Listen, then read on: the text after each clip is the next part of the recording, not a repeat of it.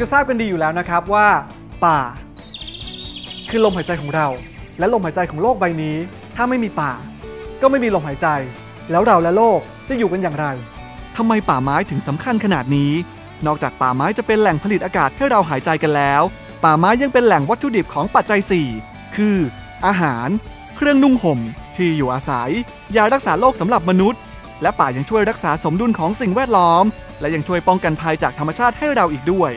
ถ้าหากไม่มีป่า ไม่มีสมดุลของสิ่งแวดล้อม จะมีผลกระทบทางด้านพลังงานอย่างไรบ้างครับหนึ่งในตัวอย่างง่ายๆ เลยนะครับ เมื่อเราเผาและทำลายพื้นที่ป่า จะทำให้เกิดพื้นที่โล่ง เมื่อฝนตกลงมาอย่างหนัก ก็จะไม่มีพืชปกคลุม และดูดซับน้ำมาเป็นต้นน้ำลำธารจึงส่งผลทำให้เกิดการขาดแคลนน้ำสำหรับการผลิตกระแสไฟฟ้าได้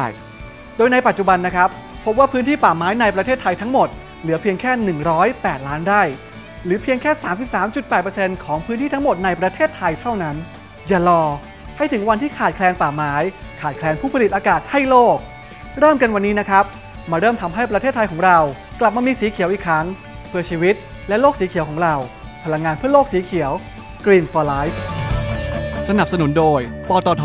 พลังที่ยั่งยืน